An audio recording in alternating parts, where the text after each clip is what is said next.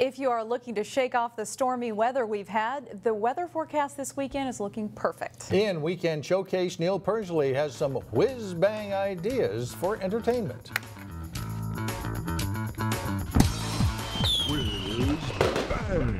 Get set for 68th annual Whiz Bang Days in Robbinsdale. Tim Bechtold is putting the finishing touches on Gallery 504 for open house festivities Friday and Saturday. Minnesota artists past and present.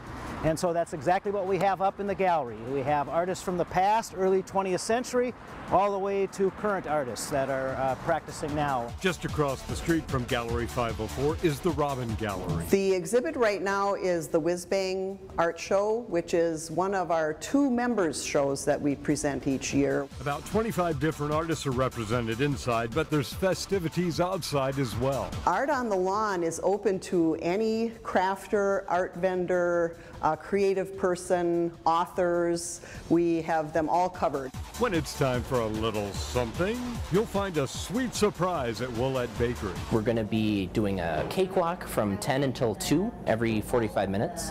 Um, we'll have about four rounds each time, and the winner is going to win a box of four cupcakes. Mmm, who doesn't like cup cup cupcakes? Yeah, because they're going to have to move a couple of the first matches to like noon.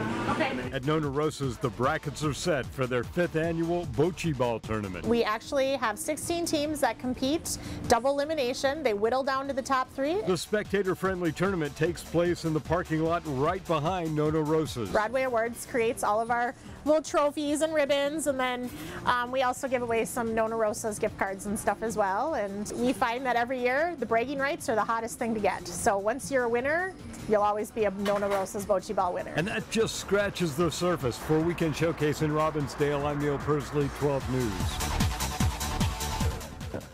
And for a full schedule of events, you can check out whizbangdays.com online. Looks like they may have hit the weather just right as well.